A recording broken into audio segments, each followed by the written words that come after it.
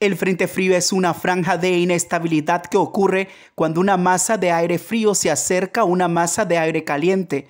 El aire frío siendo más denso genera una cuña y se mete por debajo del aire cálido y menos denso.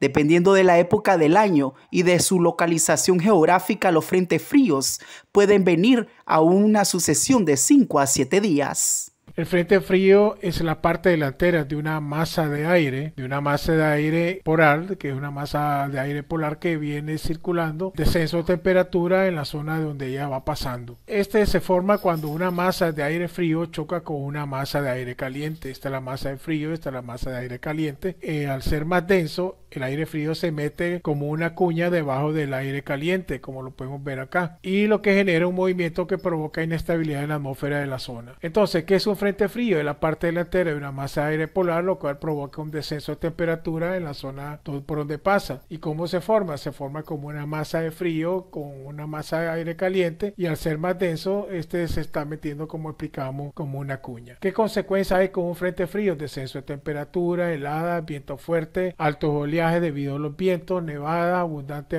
nubosidad e intensa lluvia.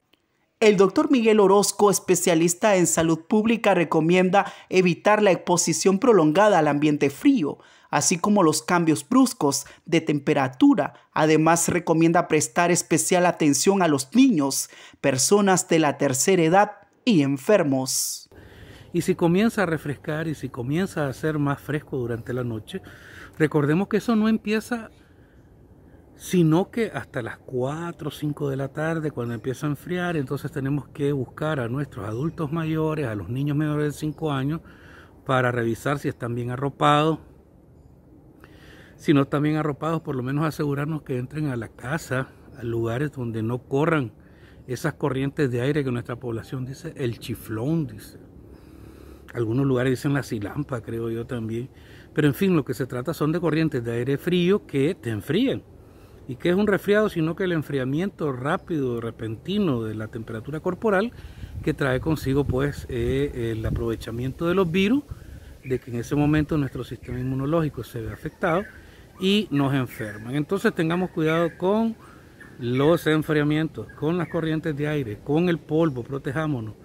Los frentes fríos se mueven rápidamente, son fuertes y pueden causar perturbaciones atmosféricas, tales como tormentas de truenos, chubascos, tornados, vientos fuertes y cortas tempestades de nieve antes del paso del frente frío, acompañadas de condiciones secas a medida que el frente avanza. Este es un informe de actualidad. Continuandino.